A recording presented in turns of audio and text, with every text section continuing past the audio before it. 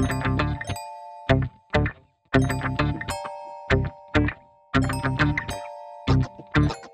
there, Lariane with Pink Dahlia Soaps here. Welcome to my channel. I hope you are well. Today's soap was a soap suggested by at Samra Riaz. I hope I'm pronouncing that right. Hi Samra, thank you so much for suggesting Northern Lights. You'll notice that the title of the video is Northern Lights Inspired because it's inspired by Northern Lights. It didn't come out exactly the way I wanted it to, but I still love it. The night is dark and full of terrors. It's also full of bright shiny stars, and that's why I am using nothing but Eco Glitter for the base of this soap because I want it to look like a sky full of beautiful bright stars. I'm also using a touch of glow in the dark colorant in the green. I don't know if you just saw it there. And I'm dispersing all of the glitter micas with the measured out oils that I'll be using for the soap. The colorants are much easier to mix into the soap base when they are dispersed. I also find that when you disperse the glitter micas before adding it to the soap base, the glitter just shines so much better in the end product compared to when you add the glitter mica directly to the soap base without dispersing it. That's just what I noticed.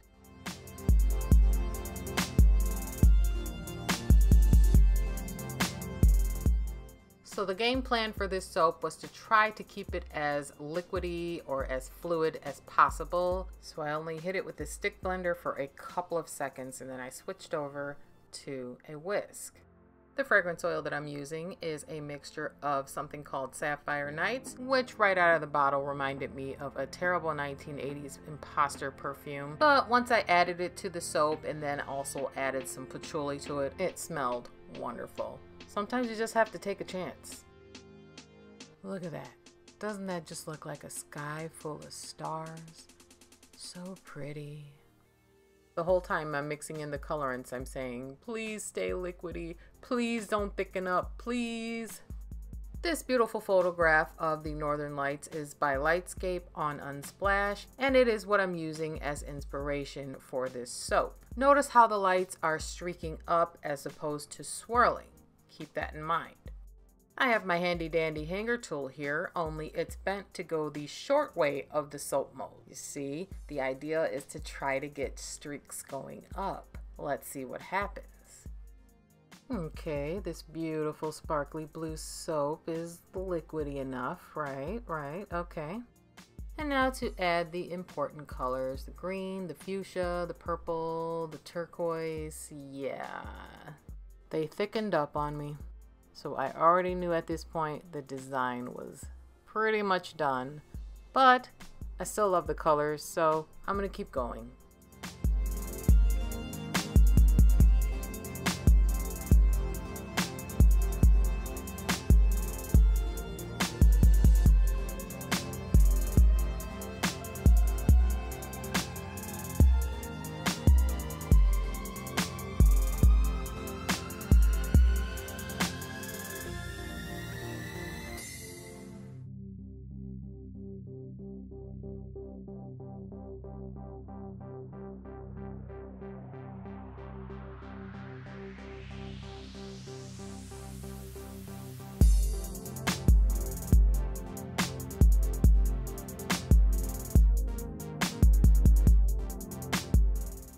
And as I mentioned, the idea was to have the colors streak upwards like in the photo. I didn't want the colors to swirl together at all. I wanted them to blend into each other.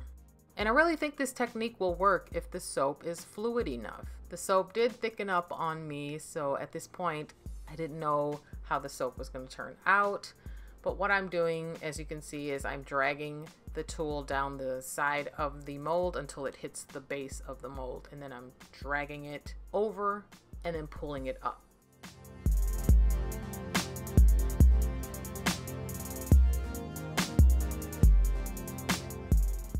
And for the top, I'm taking the leftover thickened up soap. Yeah, I'm mad at this soap, okay? I'm mad at it for thickening up on me. So I'm taking the rest of it and I'm going to smear it or streak it across the top just so that you have an idea of the look that I'm actually going for on the inside of the soap. I still don't know what the inside of the soap is going to look like. that top of the soap is going to be somewhat representing what I wanted the inside to look like. All right? All right.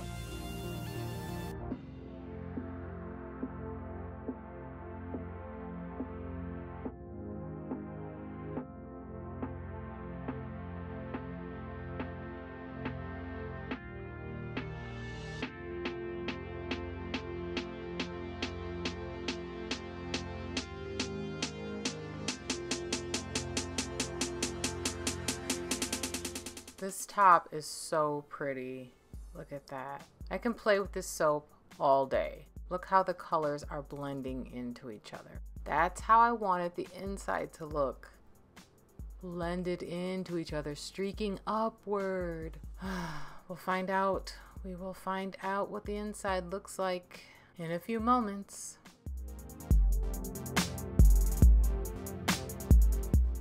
If you're making a soap inspired by the night sky, you're definitely gonna need some falling stars to top that.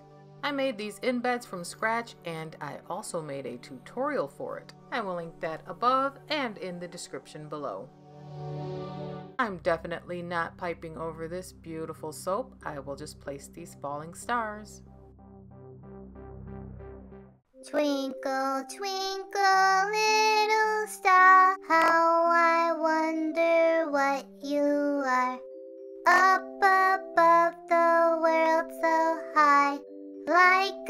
mandatory motion sickness inducing shaky shot that glows. One day later, yes, one day later, because I could not wait to see what the inside of this soap looks like. Let's cut it. Hmm. Got a lot of soda ash going on. I will try to steam that off. The inside, eh, I mean, if you didn't know that it was supposed to be the Northern Lights, I think you would say you like it, because I do like it. It's pretty. Well, I'm definitely going to try this technique again. And when I do, that soap is going to be so liquid, you're going to think it's water. Okay? And it is going to streak upwards and those colors are going to blend or so help me. Just kidding, but no, I will try the technique again. Just want a quick moment to say thank you, thank you, thank you from the bottom of my heart. It really means a lot when you subscribe, when you like, when you leave lovely comments below. I read them all. You guys are so awesome. You really encourage me to make more videos, and I love you for it. Thank you. And speaking of videos, sometime in the near future, I will be posting a few videos on homemade gift ideas. I hope you will be joining me for those. But until then, please feel free to like, subscribe, hit the bell for notifications, or leave a comment below. See you next time. Take care. Bye bye.